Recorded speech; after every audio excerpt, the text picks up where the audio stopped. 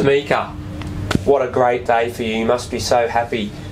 How did how did you find bowling this weekend, and what were some of the things that you really did to help you to get to the winners' podium? Well, it was challenging at times, but going through all my gear and figuring out what ball was best to use and finding out where, what shape and everything helped put it. So that's a look. Really interesting. It's great to see some of our younger athletes understanding that ball shape. So did you find that you had to really make sure that you were looking after your equipment and making sure the shape was right to carry here with the twister pins? Yeah, making sure I was going up the back of the ball and keeping it tight and not going out wide. Yep. No, help. that is awesome. So, um, what's next for you? Where, where are you going to go? What are your next tournaments? Um, well, I'm going down to Sydney Youth and hoping to be selected for the Asian schools team. Yep.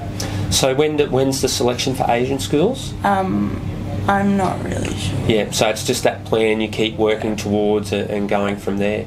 So, uh, team events, any of your team events coming up? Because I know you enjoy bowling in the team events. I, I've seen you at a couple of them. So, what's your next team event you've got Um, coming up? I've got Shield coming up Yep. in Tasmania. So, looking forward to going back down to the ANC. yeah. That's awesome. That's awesome. And so, uh, look, I know I've I've seen you bowling at some of the events around uh, around Queensland in some of the Q tours. So, who's been who have you been working with that has seen your game come forward so that you could have a victory like you did here today? Um, well, I've just mostly just myself Yep. working with on my own game Yep. And figuring out what works best for me. Yep.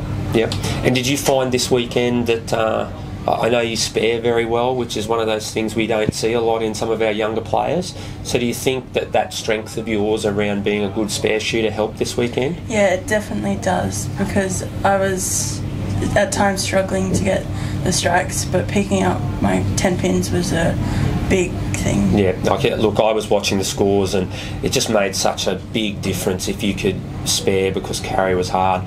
But look, congratulations again. Well bowled. What a what an excellent effort. You should be so proud of yourself. Um, your your performance here this weekend's been great, and uh, we hope you do very well in the events that are coming up. Thank you. No problems.